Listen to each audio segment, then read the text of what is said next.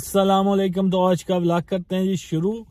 आज हम इस व्लॉग में जिस टॉपिक पे बात करेंगे, बहुत से भाइयों के अभी यही कमेंट्स देख रहा था, अभी मैं पढ़ रहा था कमेंट्स तो हर एक बंदे को वन बाय वन तो रिप्लाई करना थोड़ा मेरे लिए मुश्किल हो जाता है।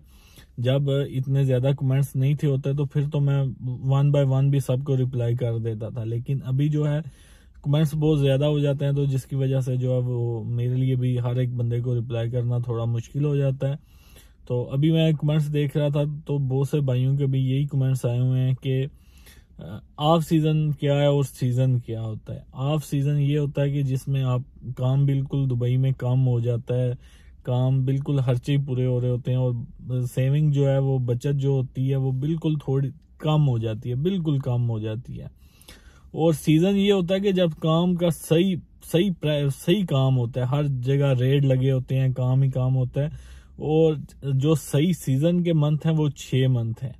और ऑफ़ सीज़न के समझ लें कि तीन माह ऑफ़ सीज़न के होते हैं और छ माह जो होते हैं वो सीज़न के होते हैं और तीन माह एक नॉर्मल रूटीन का काम होता है। ना इतना ज़्यादा होता है और ना इतना कम होता है। तो अभी जो सीज़न के मंथ होते हैं, वो अक्टूबर से लेके वो मार्च तक सही पीक वाले होते हैं। इसमें दुबई का जो वेदर है, वो बहुत सही अच्छा हो जाता है। जैसे अभी दिसंबर में सुबह आते हैं तो 16 टेम्परेचर होता है, लेकिन गर्मियों में ऑफ़ सीज़न में ये 50 से भी ऊपर गया होता है।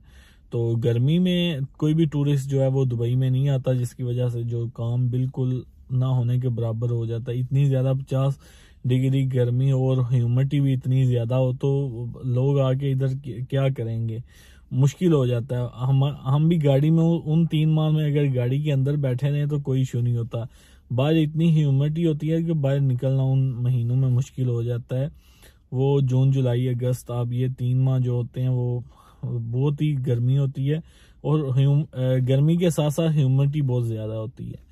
तो सीज़न के जो है, आप बहुत से भाई अभी भी वीडियो पूरी नहीं देखते, मैं अभी हर वीडियो में आपको यही कह रहा हूँ।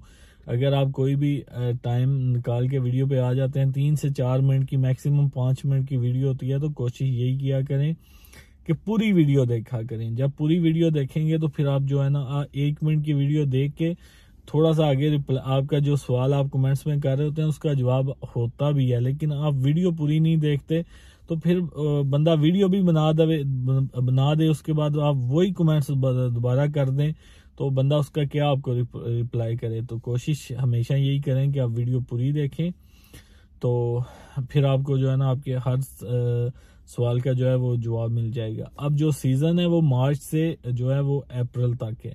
ये इसमें मौसम बहुत अच्छा रहता है टूरिस्ट बहुत ज़्यादा आते हैं और ऑफ़ सीज़न आप कह लें कि जून, जुलाई, अगस्त तीन माह होगी। इसमें यह है कि गर्मी शुरू हो जाती है, लेकिन इस लेवल की नहीं होती।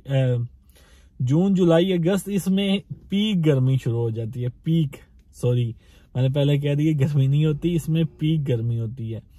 जून, जुलाई, अगस्त और मार्च तक काम बेहतरीन रहता है। आगे अप्रैल और मई स्कूल लगे होते हैं और ऑफ़िस भी लगे होते हैं, काम चलता रहता है, लेकिन टूरिस्ट आना कम हो जाता है क्योंकि अप्रैल में जो है वो गर्मी स्टार्ट हो जाती है। अप्रैल और मई में नॉर्मल गर्मी होती है, थोड़े से विस्टर भी आ रहे होते हैं, लेकिन जो सीज़न में विस्टर आ रहे होते हैं, उनके मुकाबले में उनकी तादाद आदि से भी कम होती है।